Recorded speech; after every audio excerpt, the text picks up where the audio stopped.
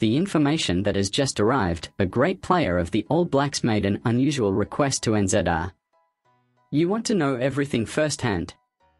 Already subscribe to the channel so you don't miss the latest news about the Blacks. All Blacks captain Sam Cane has called on New Zealand Rugby to ensure as little off-field distraction as possible for the players as the governing body navigates the mess that is the appointment of the next national coach. The 2023 season gets underway on Friday with Super Rugby Pacific preseason matches, though the one topic in town is not only who will be the next All Blacks boss, but when they will be revealed as such, and the effect it will have on this year's World Cup campaign. Already leave your like in the video so as not to miss the latest news of your favorite team. Frontrunner Scott Robertson threw fuel on the fire on Wednesday by indicating that an announcement could be just days away, before an extraordinary counter-comment from NZR that an announcement was not in fact imminent.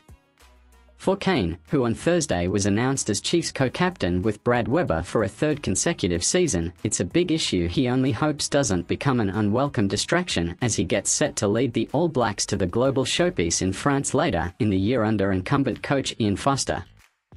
So fans of the All Blacks, what is your opinion on this unusual request of Sam Cane to NZR?